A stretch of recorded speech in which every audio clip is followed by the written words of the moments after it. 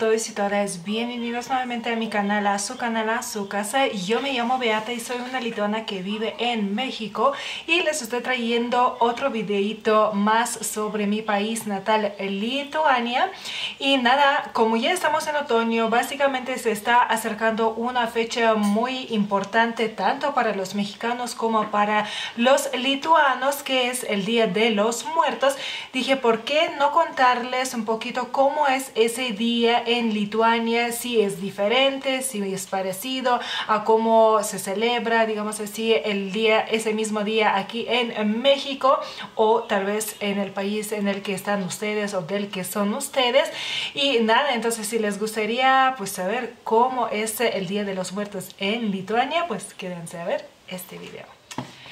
Antes que nada quiero hacer como un énfasis, por así eh, decirlo, eh, y quiero decir que lo que les voy a contar aquí en, en, este video sobre el Día de los Muertos es algo muy generalizado, digamos así, uh, y son mis experiencias uh, por, por, otra parte, por así decirlo, uh, porque obviamente es muy difícil, o sea, sería imposible contarles qué hace cada persona, cada individuo, digamos así, en, ese, eh, en esas fechas o en cualquier fecha, digamos, este, cualquier festividad o, o, día conmemorativo, etcétera, o alguna familia, tal vez como que tradiciones tiene. Así que uh, lo que yo voy a contarles eh, es algo muy generalizado y es posible que eso es lo que van a ver uh, o puedan, pueden ver ustedes si van a Lituania en, pues, en esas fechas, digamos que uh, cercanas.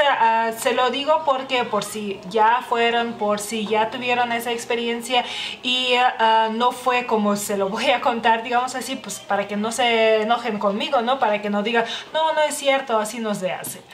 Entonces, para empezar, en Lituania existen dos días uh, festivos, por así uh, decirlo, en, uh, en, México básicamente también, que es el primero de noviembre o el Día de Todos los Santos, en lituano sería Visų Šventųjų diena, y el 2 de noviembre, que es el Día de todos de los fieles difuntos, perdón, en lituano se llama Vėlinės, así de cortito. La palabra Vėlinės viene de la palabra palabra lituana vele, lo que significa el alma del difunto. La gente creía y obviamente uh, sigue creyendo, al menos algunas personas siguen creyendo, uh, que uh, el alma del difunto, difunto se desprendía cuando se moría y luego regresaba a visitar pues, a sus seres queridos en ciertas fechas, especialmente, por ejemplo, el primero y el 2 um, de noviembre. Y bueno, entonces eh, en ese aspecto, en ese sentido, diría que los mexicanos y los lituanos sí nos uh, parecemos, digamos así, o sea, en cuanto a nuestras uh, creencias. Y uh, regresando a Vélines o el día 2 de noviembre, lo que les voy a decir, como ya se lo dije al principio, es muy generalizado. No se olviden que en Lituania viven no solamente lituanos, sino hay gente uh, de uh, otras nacionalidades que posiblemente tengan otras costumbres un poquito más, o sea, como que diferentes a lo general. O también, uh, dependiendo de la, de la región, digamos así, posiblemente tengan alguna costumbre que no exista en otra región, etcétera, ¿no? Entonces, lo que suele hacer la gente antes del primero y del 2 de noviembre, una semana o dos, y a cada quien con, según sus posibilidades. Uh, los que siguen, digamos que las costumbres las mantienen, uh, tienden, digo, tienen la posibilidad, uh, tienden a ir a los panteones a arreglarlos este, para dejarlos como pues listos para esas fechas, es decir, no sé, sacan toda la hierba mala, uh, barren, limpian, llevan flores, este, normalmente son flores... Um,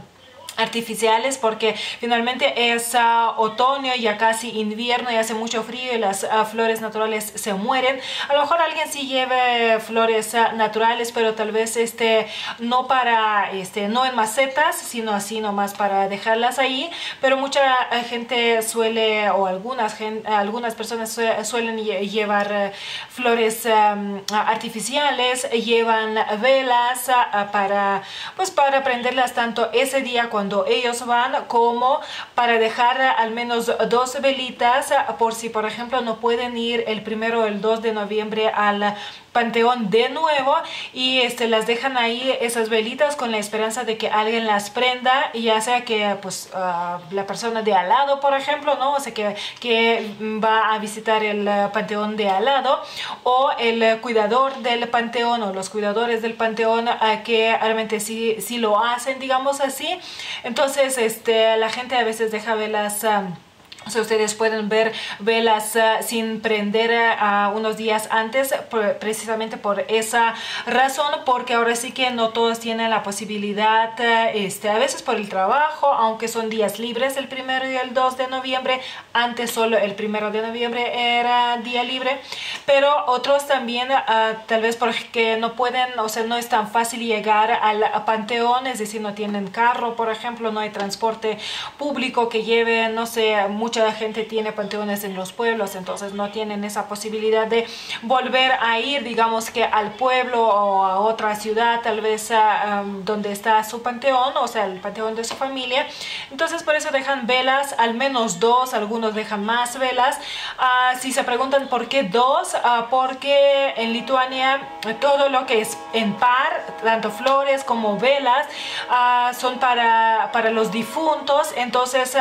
normalmente la gente no suele dejar solamente una vela, por ejemplo, deja al menos dos o si eh, son más, entonces cuatro, seis, etcétera, etcétera. Al igual con las flores, si llevan, por ejemplo, flores en macetas, entonces al menos dos macetitas. Si flores cortadas, pues entonces dos, cuatro, seis, ocho, etcétera, etcétera. Y básicamente podríamos decir que es lo único lo que hacemos en uh, Lituania en, uh, en, esas fechas, el primero y el 2 de, uh, de noviembre. No es como en México, que es un gran festejo, por así decirlo, muy, uh, muy colorido, digamos así. En Lituania esas fechas son, son días muy serenos, muy tranquilos, nada de bailes o festejos. Y obviamente hay gente que, que nació el primero, por ejemplo, de noviembre y suele, eh, suelen esas personas a no, no, festejar, digamos que su cumpleaños eh, el primero de noviembre, justo por esa, uh, por esa razón, por, porque son días muy serenos. Y entonces este, no hacemos ofrendas, no tenemos la tradición de eh, de hacer ofrendas o algo pues algo parecido al menos a, eso digamos así. Ah, como les dije este lo, lo, más común es arreglar los panteones unos días antes dejar flores dejar velas y este en caso de que se pueda ir el primero o el 2 de noviembre a prender las velas. Si no se puede pues la gente que, que sí puede ir o los cuidadores de los panteones prenden las velas y se ve muy bonito. Uh, muchos panteones, no digo que todos, se ven muy bonitos eh, en, en, esas fechas, digamos así, de noche, uh, por, uh, con las velas todas prendidas, los panteones arreglados, todo muy bonito. Y como les dije hace unos minutos, son días festivos o no de trabajo, o, obviamente a alguien sí le toca trabajar de todos modos, dependiendo de su trabajo. Y los niños también Normalmente en las escuelas uh, tienen vacaciones alrededor del, del primero de noviembre, es decir, no sé, a partir del, no sé, 27, por decir, porque siempre, es, si el primero de noviembre cae, no sé, un miércoles, entonces las vacaciones empiezan desde el lunes, ¿no? Hasta el próximo lunes, por ejemplo, ¿no? Este, o si el primero de noviembre cae un domingo, entonces quiere decir que la próxima semana, normalmente es la siguiente semana, es la que es de vacaciones, a veces es al revés, dependiendo de... Uh, a veces depende realmente de la escuela, pero normalmente los niños eh, tienen vacaciones también por, por esa razón, digamos así, son sus vacaciones de otoño. Y pues nada, hasta aquí este video sobre ese día, esas fechas tan uh, importantes para las dos naciones que son los mexicanos y los lituanos. Creemos en las mismas cosas, por así decirlo, pero festejamos de diferente manera. Incluso, uh, por ejemplo, en México tienen la tradición el 31 como Halloween, digamos así, a salir con los niños a pedir los dulces. En Lituania no existe esto. Hay gente que últimamente, no sé, en la última década tal vez se está festejando el Halloween, pero por pura diversión en sí Halloween no es una, un, un festejo propio lituano, por así decirlo, ni tenemos nada parecido a esto. Solo tenemos el primero y el 2 de noviembre y ya saben qué es lo que solemos hacer en esas fechas o unos días antes. Y pues nada, cuéntenme qué, qué les pareció, digamos así, si se les hizo raro lo que hacemos o se les hizo muy muy diferente a lo que están acostumbrados. Si son mexicanos o si son argentinos son colombianos me pueden contar en los comentarios qué hacen ustedes ah, en su caso o sea ustedes su familia o también qué es lo que se suele hacer en su país como tal porque ahora sí que yo desconozco me gustaría aprender obviamente un poquito más sobre sus países de donde sea que me vean. Y nada si este video les gustó por favor denle me gusta suscríbanse a este su canal si todavía no lo hayan hecho, compartan este videito uh, con sus seres queridos, con sus amigos y más que nada con la gente que tal vez uh, justo como que está planeando, pensando ir a Lituania en esas fechas, pues podrían ver cómo quedan los panteones, cómo están los panteones en esas fechas. Y, y nada, entonces uh, muchas gracias por ver este video, déjenme sus sugerencias y nada, les mando muchos besos y abrazos, me cuido mucho y nos vemos en el próximo video. Bye-bye.